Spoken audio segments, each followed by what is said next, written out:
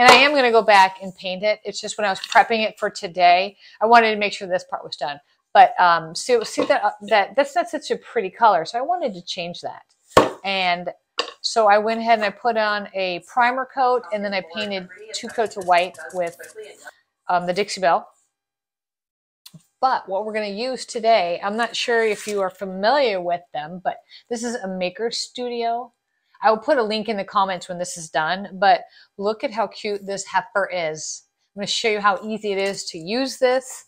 And, um, and you can, it can be used more than once as long as you clean it and you wash it. And this is a, this one is called Country Girl. And there's the cutest little, it's a ball jar and has three little stems, but you just put the flowers on top of them. It's darling. But we're just going to concentrate on the heifer today. How cute is she? We're going to put her on here. So let me get her out. Okay. So take my scissors. Now what I'm going to do is I'm just going to cut out the part of the design that I want to use. I don't need to put all of it on here. These are self-adhesive, so you don't have to worry about them sliding or moving whenever you put them in the spot you want to put them. And I'm going to cut that part off because I don't need that to transfer onto my Lazy Susan. So we're going to put it just like this right in the middle. Um, I guess I, I could put her down here and I could put some words, but I really, hey, Michaela. um, but I, I really don't have any words for this. so for right now, I'm just going to put this on. And we're going to be using the Makers' Studio. This is chalk art. It's thicker and you, it just runs right through the stencil. You cannot mess it up. So let's do that. so what you do is you just kind of take it off the backing. And then you just put it right where you want it. And then you make sure it sticks down. Moo. Are you calling me a heifer? All right. And now there are certain areas here that are kind of close to the edge. So I could take blue tape and I could tape those edges and knowing myself, and I'm kind of a sloppy crafter, I'm going to go ahead and just tape it up now because that way I don't have to worry about it later, about making a mess. And if I do make a mess, I can always take the white chalk paint and go over it. There we go. And I'm going to have to get down here by the flower too.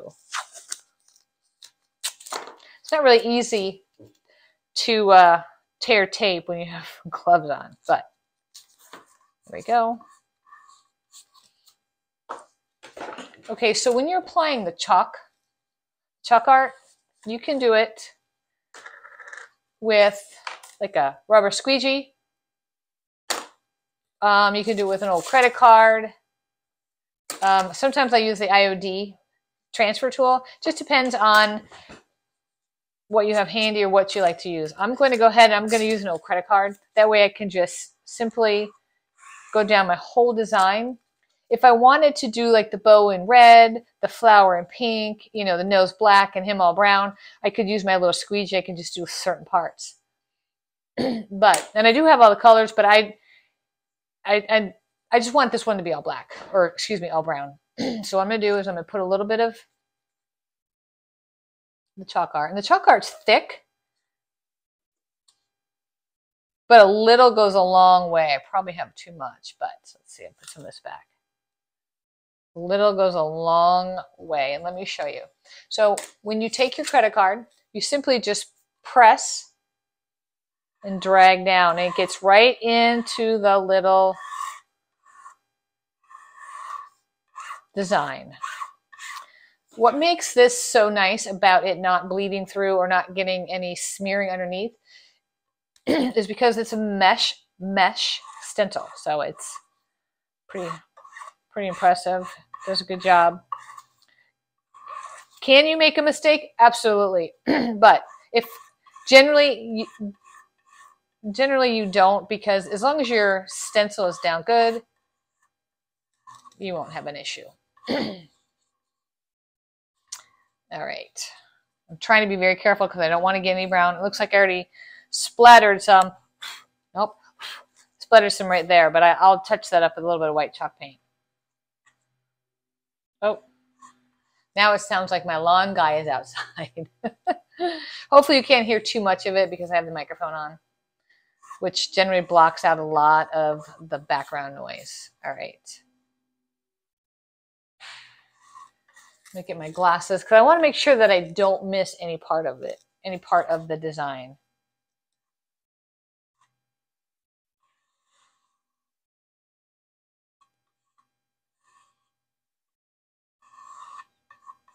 Okay, so then I just want to go back and make sure I get any excess off. I don't want it pooled up or puddled up, so I'm just going to kind of make sure I have a nice even coat everywhere. Okay, that looks good. Now what I do is you just lift it off. I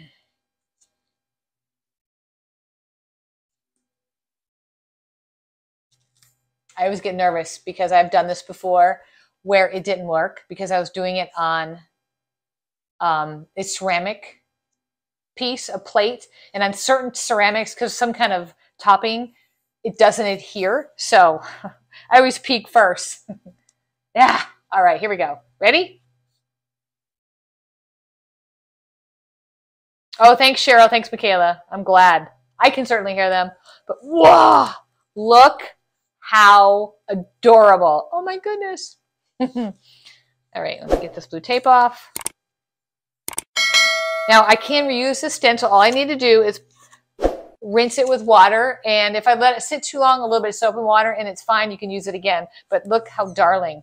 Now I did get a little bit of brown right here, but I'm gonna wait till that dries and then just touch it up with some white chalk paint.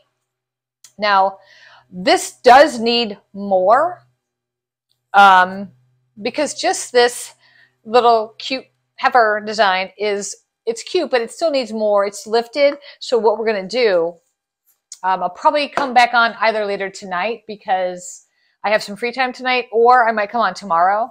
And what I my plan is, is I'm going to use the Pentart pouring medium and maybe use um, some glitter and maybe some of the inks. I don't know. I don't really want to cover her up, but if I just tint it just a tad, that might be cute. Um, but definitely I'm going to pour this pouring medium. This pouring medium is really good for when you do paint pours, but this will also protect and give it a nice coating. Um, and I might just throw some glitter around the sides. I might decide that I want to paint the edges. I don't know yet, but definitely I know I just need to let this dry for a little bit, but I wanted to get it started with you guys. But isn't it darling? And you see how easy that is? And I did, there is no mistake because it is a um, mesh, mesh, mesh stencil. it's kind of a tongue twister. So you really don't mess up unless you get the ink outside the stencil like I generally tend to do. But, um, and it's by a Makers' Studio. They have a million different stencils and they are super, super easy to use. Um, again, I'll put the, I'll put a link in it, the comment afterwards. Yes, Cheryl, look crisp, right? I didn't have to, like with a regular stencil, you generally have to, um, you generally have to like clear coat it first. The paint doesn't go under the stencil. That's why I'm not a big stencil person, but I do love these because they are really easy to use. And like there's a million different designs. Okay, so now we're gonna put this to the side, let it dry, and then we'll we'll revisit that either later tonight or this little guy. We can do so much with him, um, but sometimes you can, you could actually do a little bit too much. So, and I sometimes have a tendency to do that, and then I end up not liking it, and then I just throw it away. So I don't want to do it with this guy because I could totally come in here and I could paint everything and make it super cute. But I kind of like it just the monotone of the uh, the dark brown and the white. But what I do want to do is I think what I'm going to do is I'm going to add a little bit of this antique paste. This is in brass. And I'm going to line the edges of this real quick. And then the fun is going to begin. All right, so what's nice about this is it can turn. So I'm just giving a little bit of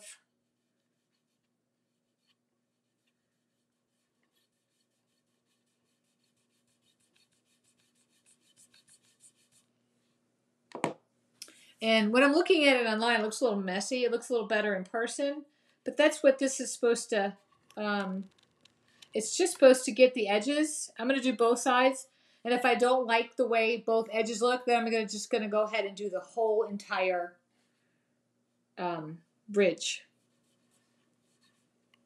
You could put, this is just like gilding wax. You can put it on with your finger or brush. But when you're putting it on the edge of something, it's really hard unless you're using your finger because you can really get the edge with your finger. So doing the outside edge gives it a little bit more balance. It's not meant to look perfect. If you wanted it perfect, you probably would need to tape a line. And that's not what I'm going for here. All right, so I can leave it just like this. Oops, let me flip them around. Or I can go back in and paint the whole thing. I like it like this. So I'm going to leave it like this. I am going to make a few parts a little bit wider.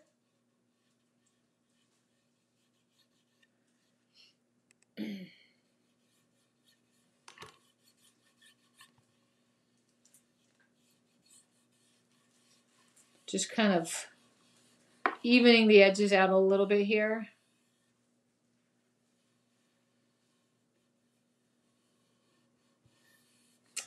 All right, now look at how cute. Another thing, what I might want to do is maybe I'll just do his, actually hers, um, the horns. What do you think? Should I do it? I know there won't be a lot of people on right now because one, I didn't give you guys a lot of warning, and two, I don't have a lot of followers yet. So, but if you are seeing this, I appreciate you being here. If you catch it on the replay, I appreciate you watching the replay. Um, oh, I don't want to ruin it, but I think it'll add a little bit to it if I do it because. So I'm just going to do it. I'm going for it. I'm taking a brush. I'm going to use the exact same thing that I put here. And this is what I'm using on this one is the Antique Paste by Pentart. Don't do it. Oh no, Francis. Don't do it yet.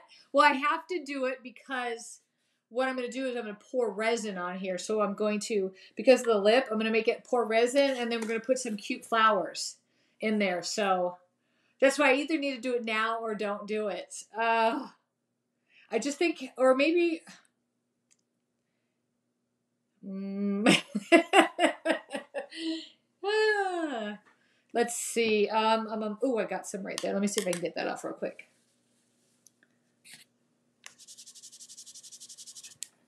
I always keep baby wipes handy. The sensitive ones without the chemicals and stuff in it. Yep, so it's.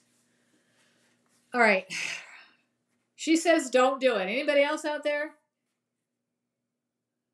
Very little. Yeah. See, that's what I'm afraid of. I think if I put it too heavy, it might be too much.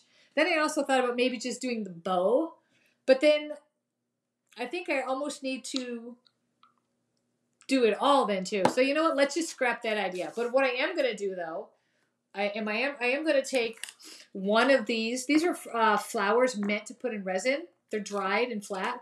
These are by a Makers' Studio. So um, yesterday I put the link in the comments. I'll do that again. So if you're interested in any of the a Makers' Studio like this awesome, beautiful country girl, that's what the name of the stencil is. And then they also have these resin dried flowers, all different colors, and they sell resin and all that too. So, but get my scissors. They're they're super cute. I did a bunch of keychains with the resin with these flowers, and the white flowers are so pretty.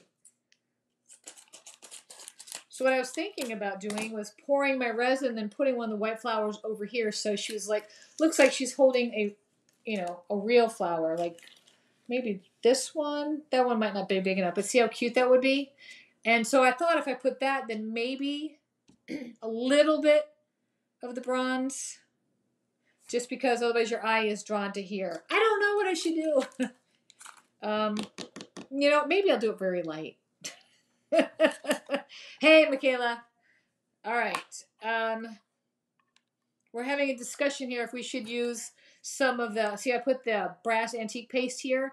If we should put some here, and then with this flower, and then I'm going to pour resin on the, the top of this. Mm, that's true. I can always I can always get rid of it if I don't like it. All right, I'm gonna go for it. I'm gonna put that up there. I keep forgetting I can do that with my comments. All right, but I'm gonna use I'm gonna use Francesca's idea. I'm gonna go just a very little. So, and hopefully I don't smear it everywhere because I have a tendency to get a little messy.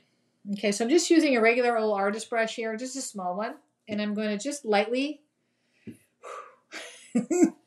gonna go on here and just kind of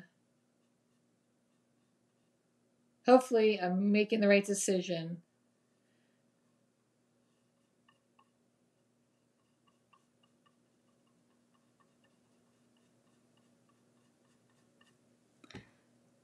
Okay, all right, that's not too bad, right? Oh, maybe highlight the bow. Okay, that's a good idea too. I, you know what? if I was doing this off camera, I'd probably go ahead and hand paint it all, but I, that's a lot of work to be done on camera, so I won't do that. but the stencil is reusable. Right after I got done with the live yesterday, I made sure I washed it really good, dried it upside down so the sticky adhesive part can be used again. So I'll definitely be reusing this stencil. But then again, I, if I ruin the stencil, I can always buy another one. They're fairly reasonable priced. All right. What's nice is this will show through the resin. And it's oil-based, so it should not have any problem with the resin. If it was water-based, I'd be a little bit more concerned. But there we go. What do you think? I think with the flower it'll be cute. And there's bigger flowers I can put on there. I'll get I'll get another one out in a minute. We'll take a look and you guys can help me decide which flower that I should use.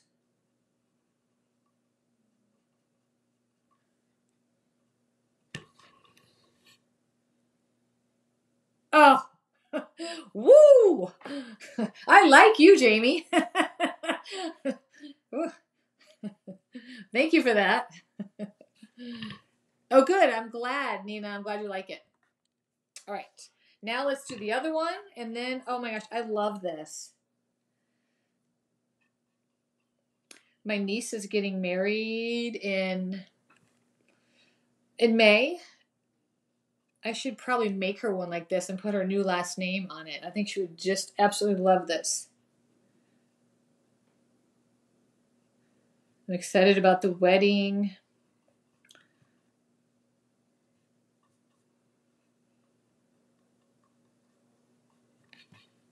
Oh, it's nice. If you were watching yesterday, I had issues with um, because of Hurricane Ian. We had to get a new roof, and it's took it's taken a while to get it, but they finally finished up yesterday. It's all done, and um, so they're not working anymore. And ironically, it rained yesterday, so um, my husband wanted me to go up in the attic and check the leak because he he's not home right now, or he when it was rainy he wasn't home. So I was like, yeah, no, that's okay.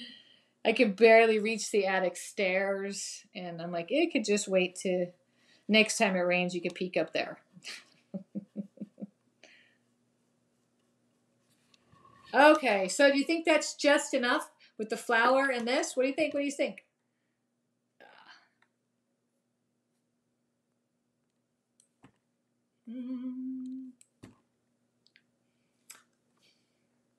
Now this stencil is just, this has got to be one of my most favorite stencils from a Makers' Studio. And to be quite honest, I don't use them enough. They are super easy. If you saw me do it yesterday, you saw how easy and flawless they are to use. So I really, really, really need to use them more. And I'll probably use them a lot more um, in my demos just because they're so easy and they're so stinking cute.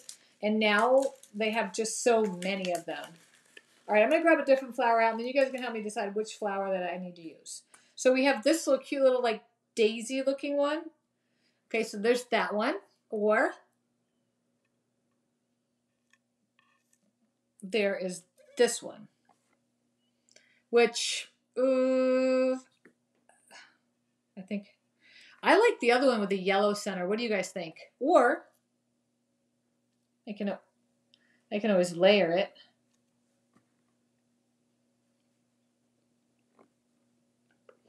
I know if you're commenting, it takes a takes an extra like 30 seconds for me to get the message. Um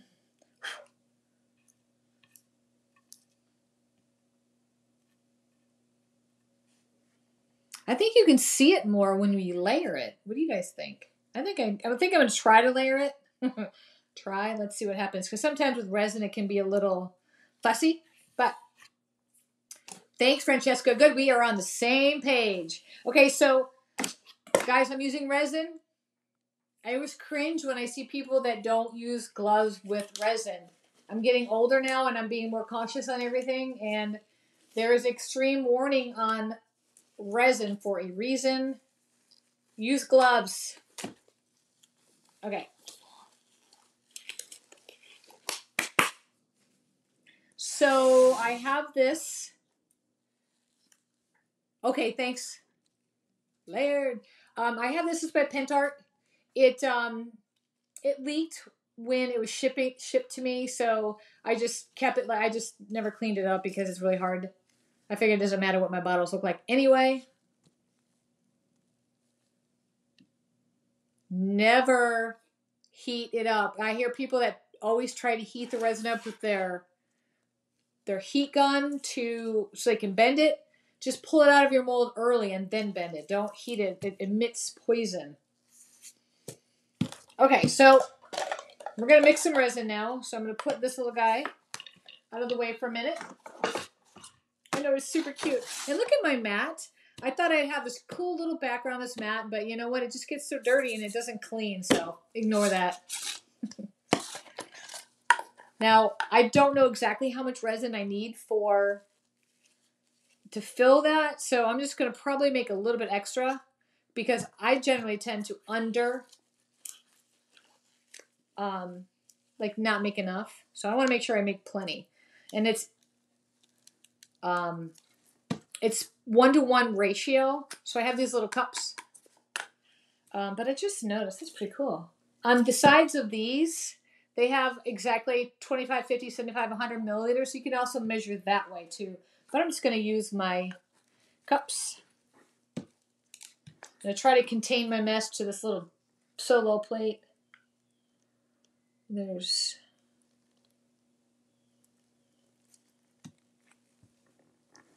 Um, okay, so I'm just under 75 on that one. I'll do this one. Let's see. Make reborn dolls and have the bacon. You eat. Oh yeah, it's dangerous. And if it if they didn't mean it, they would not put the warning on it.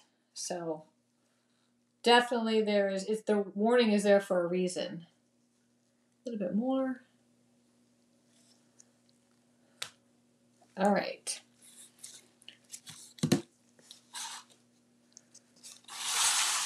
Get my little stir stick. Red solo cup. These are always come in handy. I don't normally like to pour with these, especially when you have to try to get an intricate little part. But since it's such a big, wide area, it pours really easy. So like normally I'll use like a little Dixie cup or something because see how you can get that nice little pour. Mm. I'm second guessing myself like that's not enough. Definitely want to make sure I make enough. I might add some more. I'm using, this is the clear resin, so it's going to take a while to dry. It's not the quick set, the quick cast resin. Right. Yeah, I don't think that's going to be enough. I'm going to add some more. Like I said, I'd rather be careful than I've made that mistake before.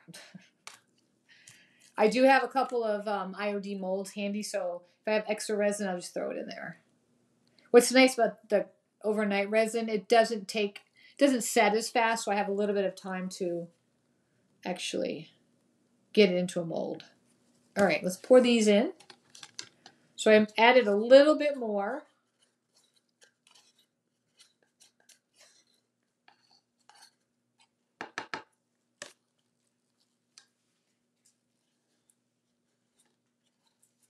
The one thing I'm hoping is once I set the flower, that as it's drying, it doesn't move. Okay, let's stir this up. And you want to stir for a little bit. You want to make sure it's good and mixed.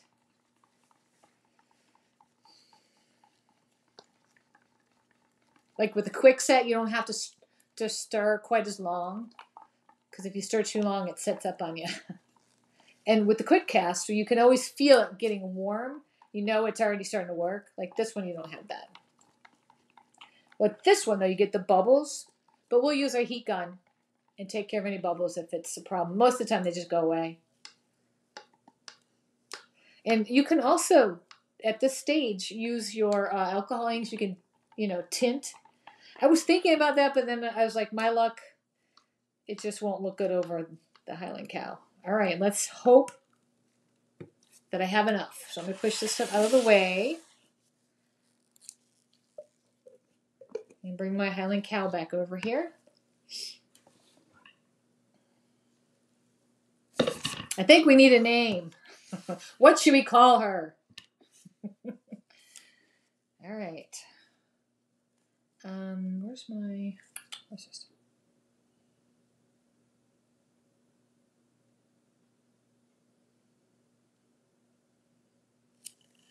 I want to save just a tad because I want to have enough to stick over that flower.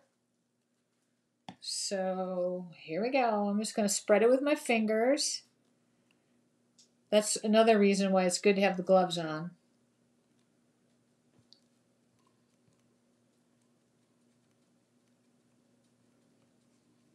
Working with a Lazy Susan is awesome because you just move the Lazy Susan. just twist it and you can get to every part without too much trouble. Now it's very important that it dries on a level surface. One time I was doing a really big table and when I was spreading the resin, it was perfect. I had it on a level surface, it was looking pretty, and then I was like, oh, I better move it so it could sit overnight and dry. So, you know, in the morning, nobody will touch it just in case it's not cured all the way. Well, I moved it to an area that wasn't level, and I didn't know, I didn't notice it, and I didn't think about it till too late. And guess what?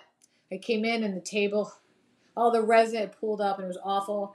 Then I tried to pour more resin on top to fix it, and yeah, you know, it just didn't go didn't go very well.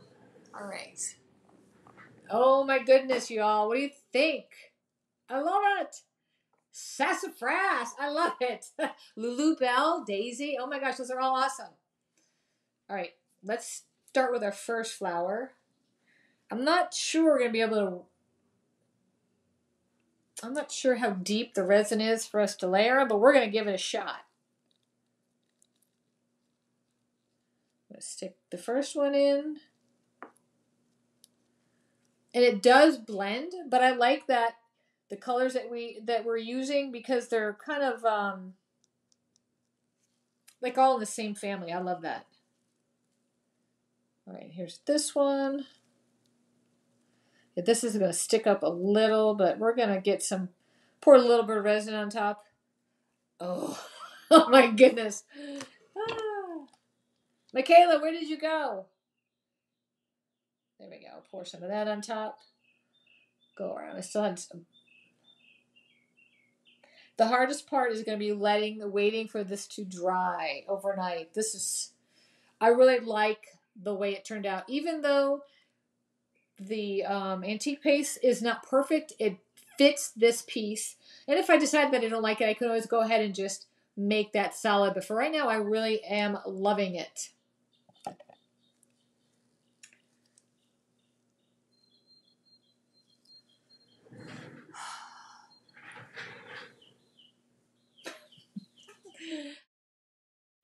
And for the final step, I used the Chameleon Varnish Gold and just around the rim so it would give it some glitter and some shine.